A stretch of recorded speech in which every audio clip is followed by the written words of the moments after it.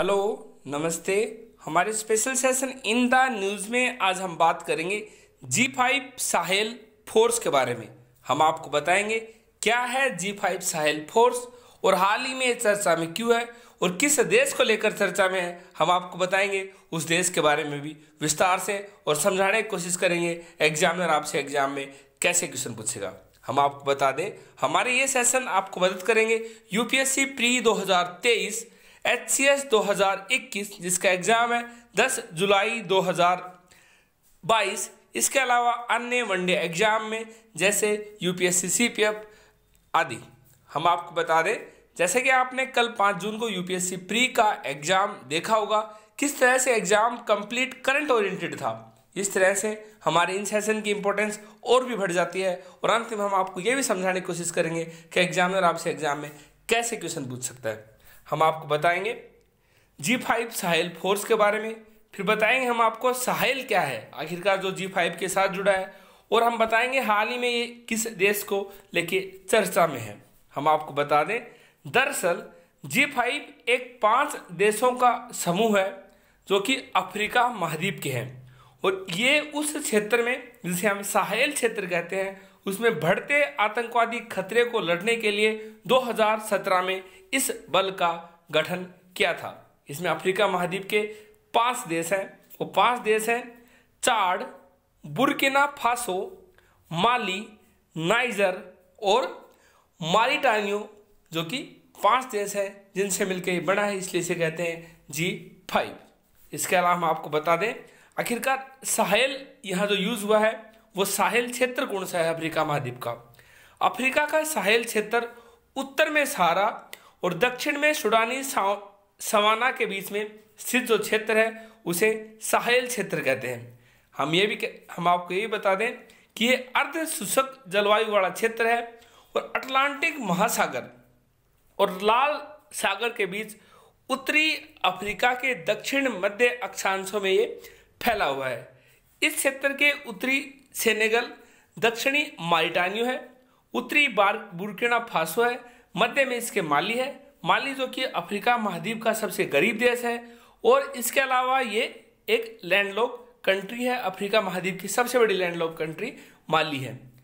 Algeria के चरम दक्षिण, नाइजीरिया के चरम उत्तर, नाइजर, कैमरून के चरम उत्तर और मध्य अफ्रीका गणराज्य, मध्य और दक्षिणी सूडान, चाड दक्षिण सूडान के चरम उत्तर इथोपिया और इरिटेरिया के चरम उत्तर के क्षेत्र में शामिल है। यानी कि जो साहिल क्षेत्र है, ये यूरोपीय महाद्वीप के उत्तर पश्चिम में स्थित है। जहाँ बढ़ते आतंकवाद को रोकने के लिए और उसके खतरों को देखते हुए वहाँ जी फाइव साहिल फोर्स का गठन किया है और उसमें पाँच देश शामिल हैं। हम आपको बता दें, आखिर अफ्रीका में ये क्षेत्र आतंकवाद से प्रभावित क्यों है? संयुक्त राष्ट्र के विशेषज्ञों के अनुसार इस्लामिक स्टेट और अलकायदा चरमपंथी समूह के बढ़ते प्रभाव के बाद 2021 की पहली छह छमाही में अफ्रीका आतंकवाद से सबसे ज़्यादा प्रभावित क्षेत्र ये बन गया है हाल ही में। इसके अलावा हम आपको ये भी बता दें कि आखिरकार ये जी फाइव साइल चर्चा में क्यों है? ये चर्चा में इसलिए है क्योंकि 19 मई 2022 को अफ्रीका के लिए संयुक्त राष्ट्र की शीर्ष राजनीतिक अधिकारी ने माली के साहेल क्षेत्रीय आतंकवादी रोधी बल से हटने की जानकारी दी। यानी कि जो माली देश है, जो कि अफ्रीका महाद्वीप का सबसे बड़ा लैंडलॉक कंट्री है, उसने अब जी फाइव समूह से, यानी इस जी फाइव साहिल क्षेत्र से अपने हटने की जानकारी दी। लेकिन उसने उसने ये कहा कि अब आगे हम इस इस जी फाइव साहिल फोर्स के सदस्य नहीं रहेंगे। इसलिए ये हाल ही में चर्चा में है। बात करें माली की भी तो माली एक पश्चिमी अफ्रीका के सहारा रेगिस्तान में फैला एक विशाल देश है। एक समय कई पूर्व औपनिवेशिक साम्राज्यों का निवास स्थान रहा है और ये लैंडलॉक कंट्री है। अफ्रीका देश इस महाद्वीप के सबसे, अफ्रीका महाद्वीप के सबसे बड़े देशों में से एक है। ये दुनिया के सबसे गरीब राष्ट्रों में से भी एक है। वर्ष 1960 में ये फ्रांस से स्वतंत्रता इसे मिली।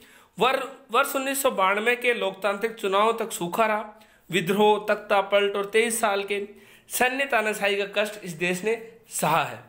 और कई सैन्य शासनों का भी अनुभव किया है।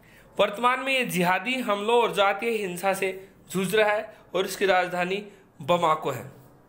बात करते हैं एग्जामिनर की।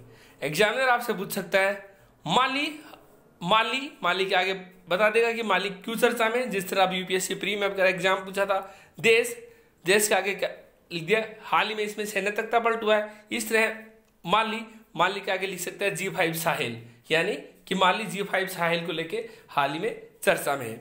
इसके अलावा एग्जामिनर आपसे ये पूछ सकता है, निम्नलिखित में से कौन से देश जी फाइव के सदस्य हैं यानी जी फाइव साहिल फोर्स के सदस्य हैं या नहीं है, इसलिए आपको उन पाँच देशों के बारे में पता होना चाहिए। एग्जामिनर आपसे ये पूछ सकता है कि जी फाइव साहिल फोर्स का गठन कब हुआ? इसका गठन 2017 में हुआ था और इसमें पाँच अफ्रीकी देशों द्वारा ये स्थापित किया गया था और किस लिए स्थापित किया गया था? ये बढ़ते आतंकवादी खतरे को लड़ने के लिए इस बल का गठन किया गया था। Thank you